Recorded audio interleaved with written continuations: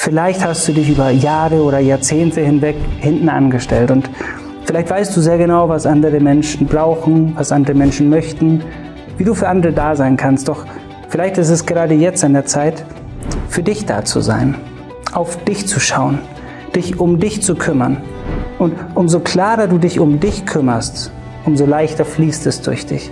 Umso klarer du bei dir bist und dich beschenkst, umso klarer wirst du beschenkt. Es gibt keine Geschichte, die zu klein ist, um erzählenswert zu sein. Jede Biografie ist erzählenswert, auch deine. Und